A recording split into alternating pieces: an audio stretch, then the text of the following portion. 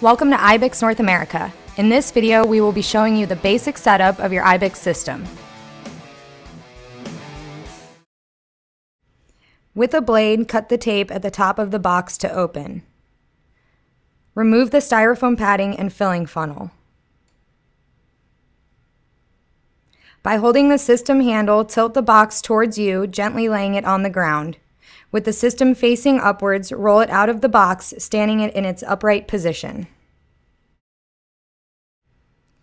Cut the zip tie from the gun and begin unraveling the abrasive hose.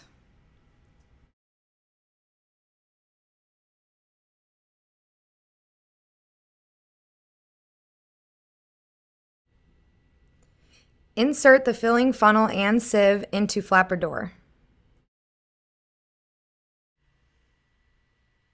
Connect a 3 quarter inch Chicago fitted air hose to the compressor, securing it with cotter pin.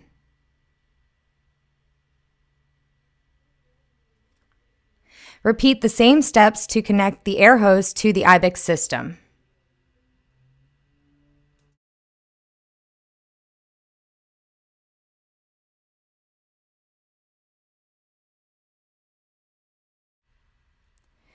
Pulling up to unlock pressure regulator knob, turn clockwise to increase air pressure, pushing down to lock. Pulling up to unlock pressure regulator knob, turn counterclockwise to decrease air pressure, pushing down to lock. To adjust media flow, turn abrasive valve clockwise to decrease the percentage of media mixed with air. Turn counterclockwise to increase the percentage of media mixed with air.